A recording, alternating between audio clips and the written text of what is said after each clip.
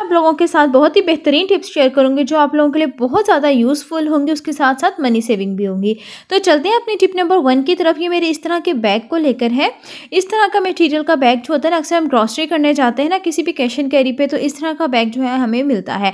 तो आप लोग जो है ना, इससे एक बहुत ही बेहतरीन ऑर्गेनाइज़र बना सकते हैं। तो सबसे पहले आप लोगों ने करना यह है, इसकी जो एक स्ट्रिप होती है, उसको कट कर देना है और इसको साइड से भी, दोनों तरफ़ से जो इसकी साइड्स हैं, आपने उसकी कटिंग कर लेनी है। आपने जो है ना इसको full step by step follow करना है। लिटरली बहुत काम की चीज़ बनेगी। आप लोग एंड में ज़रूर देखिएगा। एक ऐसा ऑर्गेनाइज़र बनने वाला है कि जिसके अंदर आप लोग अपने घर के तमाम बिल होते हैं एक्स्ट्रा चीज़ें होती हैं किचन में। आप उसके अंदर जो है ना बहुत ही बेहतरीन तरीके से जो है ना वो मैनेज कर सकते हैं, बड़े अच्छे तरीके से इसको ऑर्गेनाइज कर सकते हैं। तो इस तरीके से जो है ना आप लोगों ने इसकी पॉकेट्स बना लेनी है, ठीक है? आप लोगों ने इसी साइज़ का बड़ा बैग लेना है, छोटे बैग का जो है ना बहुत छोटा सा बनेगा। तो इस तरह का आप लोगों ने बनाना है, ठीक है? आप लोगों ने करना ये है, इस तरह से आपने इसकी पॉकेट्स बना लेनी है और ऐसे इसको रखना है। और इसके दोनों तरफ़ साइड्स पर सिलाई लगा लेनी है। मैंने फ़िलहाल इसको स्टेपरल किया है। ताकि जो है ये सही तरह रहे और फिर मैं इजीली इसके ऊपर से जो है ना, वो सिलाई को लगा सकूँ। तो यहाँ ये आप लोग देख सकते हैं, आप लोग इस तरीके से जो है ना, मैं इसको दोनों तरफ़ से स्टेपल कर लूँगी और फिर जो है ना, मैं इसके ऊपर सिलाई लगा लूँगी। इतना बेहतरीन ये ऑर्गेनाइज़र बनेगा, इसके अंदर जितने हमारे घर के बिल हैं, वो भी आ जाएँगे, कैंची होती है, वो भी ऐसी ईजिली इसके अंदर रखी जा सकती है, क्योंकि इसमें काफ़ी बड़ी बड़ी पॉकेट्स बनेंगी। तो यहाँ पर जो है ना, मैंने इसको स्टेपल कर लिया था और अब जो है ना, मैं इसकी दोनों तरफ़ सिलाई लगाऊँगी और एक सिलाई जो है ना, वो इसके मिड में लगाऊँगी। फिर ऐसा ये जो है ना, दोनों तरफ़ इसकी बेहतरीन सी पॉकेट्स बन जाएँगी। तो यहाँ पे ये आप लोग देख सकते हैं, मैंने इसकी सिलाई लगा ली थी। आप लोग मैचिंग का जो धागा होगा, उसके साथ लगाइएगा। मैंने सिर्फ़ आप लोगों को दिखाने के लिए ब्लैक कलर के धागे का इस्तेमाल किया है। तो यहाँ पे जी, अब मैं इसकी कटिंग कर दूँगी, जितने भी इसके अंदर एक्स्ट्रा धागे थे। फिर आप लोगों ने इसके दरवाजे के पीछे भी आप इसको हैंग कर सकते हैं। और ये देखें, आप लोग कितनी बेहतरीन इसकी पॉकेट जो है, वो बन चुकी हैं। और जो ऊपर वाली इसकी पॉकेट है, वो सबसे ज़्यादा बड़ी पॉकेट है, उसके अंदर आप कुछ भी डाल सकते हैं। तो जी, अब इस तरह से आप लोग इसको पकड़ कर अच्छे से हैंग भी कर सकते हैं और घर की जितनी एक्स्ट्रा चीज़ें हैं, आप वो इसके अंदर डाल सकते हैं। अगर तो आप लोग दरवाजे के पीछे ना कोई खूंटी वगैरह जो होती है या हैंगिंग क्लिप्स होते हैं, आप वो डालने रख लेना तो बहुत ही बेस्ट रहेगा, ठीक है? उसके ऊपर आप इसको हैंग कर लें। तो उम्मीद करती हूँ ये वाली टिप आप लोगों को पसंद आई होगी। तो ये देख सकते हैं आप लोग हमारा जो ऑर्गेनाइज़र है वो कितना बेस्ट जो है वो तैयार हो चुका है। अब चलते हैं अपनी अगली टिप की तरफ़। ये मेरी जो है ना इस शू बॉक्स को लेकर है। अक्सर हमारे घर में जो है शू बॉक्स होते हैं और हम जो है ना जब वो ख़राब हो जाते हैं तब उनको फेंक देते हैं। तो उनको फेंका ना करें उससे हम जो है ना बहुत ही बेहतरीन एक ऑर्गेनाइज़र बनाने वाले हैं। तो यहाँ पे करना ये है, ये मेरे पास बहुत पुराना जूतों वाला एक बॉक्स है तो अगर ये जहाँ से ख़राब हुआ हुआ है, आपने इसको उधर से स्टेपल कर देना है। वीडियो को एंड तक वॉच कीजिएगा, क्योंकि इससे एक बहुत ही बेहतरीन ऑर्गेनाइज़र बनेगा, जो आप लोगों के लिए बहुत ज़्यादा यूज़फुल होगा मनी सेविंग भी होगा, और आप लोगों के हज़ारों रुपये बचेंगे। तो करने के बाद जी आप लोगों ने इसका जो ऊपर का ढक्कन होता है, उसको भी अच्छे से कट कर देना है। कट करने के बाद आपने इसको मजबूती देने के लिए, ठीक है, ताकि अच्छे से मज़बूत हो जाए। आपने इसका ढक्कन जो होगा ना, ऊपर से गत्ता जो होगा, वो आपने इस तरीके से इसके ऊपर डाल देना है। फिर जी आप लोगों ने देख लेना है, अगर आप लोगों का शू बॉक्स कहीं और से ख़राब है तो आपने उसको भी अच्छे से ठीक कर लेना है और स्टेपलर कर लेना है। अब यहाँ पे जी मैंने ले लिए थे दो जूतों के बॉक्सेस ठीक है? दोनों जूतों के बॉक्सेस के जो कवर्स थे ना ऊपर के, वो मैंने इसी के अंदर साइड से कट करके डाल दिए थे। ठीक है? और जहाँ से ये ख़राब थे, उनको मैंने वहाँ से स्टेपल कर लिया था। और जो हमने साइड्स कट की थी ना, उसको आप लोगों ने अच्छे तरीके से इस शू बॉक्स के ऊपर इस तरह से लगा देना है। ठीक है?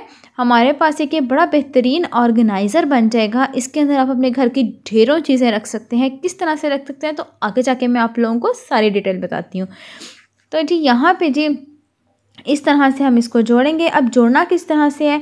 कुछ लोग जो है ना, वो ये सोच रहे होंगे कि इसके ऊपर हम पहले कवर चढ़ा लेते हैं, लेकिन हम लोग यहाँ पे कवर का इस्तेमाल नहीं करेंगे पहले, क्योंकि फिर जो है ना, ये इसके अंदर मजबूती नहीं होगी तो क्योंकि फिर ये कवर के साथ ही चिपक जाएगा। तो हमने यहाँ इसको इसी गत्ते के साथ चिपकाना है तो इसके लिए जो है ना, पहले मैं इसको स्टेपल कर लूँगी और एक ही साइज़ की सारी जो इसकी स्टिक्स हैं ना, वो कटिंग कर लूँगी और दोनों तरफ़ से जोड़ दूँगी।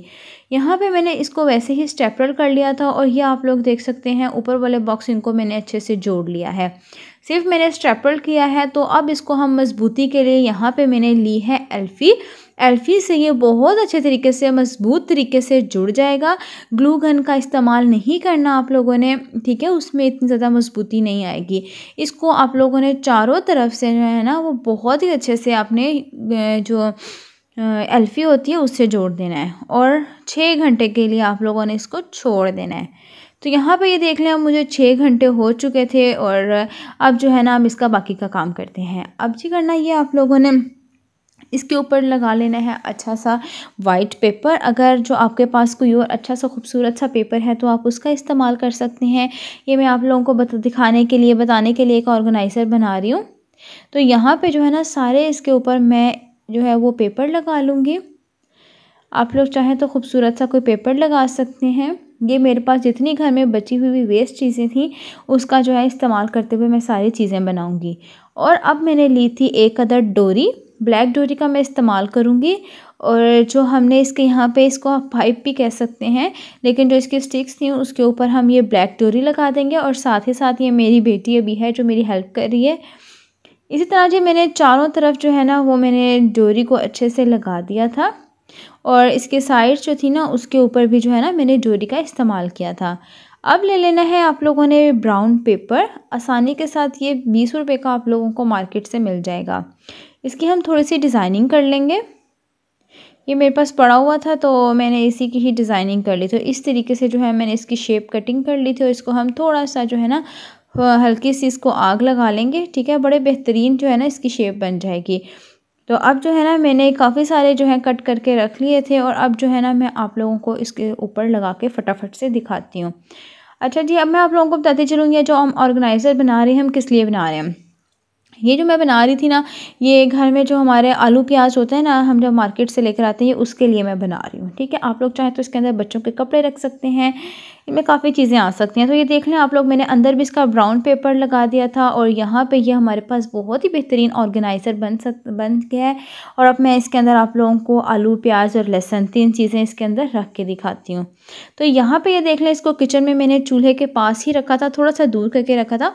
तो ये देख लें, आप लोग, कितना बेहतरीन हमारा ऑर्गेनाइज़र बन गया और इसके अंदर जो है ना, मैंने नीचे वाला जो था, उसके अंदर आलू डाल दिए थे और ऊपर जो है, हम लोग इसके अंदर प्याज और लहसन डाल देंगे। ये बिल्कुल भी नहीं टूटेगा, आप लोग इसको एक दफ़ा ज़रूर ट्राई करके देखना, घर पर बना के देखिएगा। आप लोगों को मेरी ये टिप ट्रिक बहुत पसंद आई होगी। आप चाहें तो इसके अंदर बच्चों के कपड़े भी डाल सकते हैं, बच्चों के हाईनेक्स होते हैं, सर्दी में सॉक्स होती हैं तो उसका भी इस्तेमाल कर सकते हैं। इसके अंदर हम बहुत सारे कपड़ों को ऑर्गेनाइज़ कर सकते हैं किचन की चीज़ों को भी ऑर्गेनाइज़ करते हैं, कर सकते हैं। तो उम्मीद करती हूँ आज की वीडियो पसंद आई होगी। वीडियो पसंद आई तो वीडियो को लाइक करना शेयर करना चैनल को भी सब्सक्राइब करना होगी अपने नेक्स्ट वीडियो तक के लिए अल्लाह हाफिज़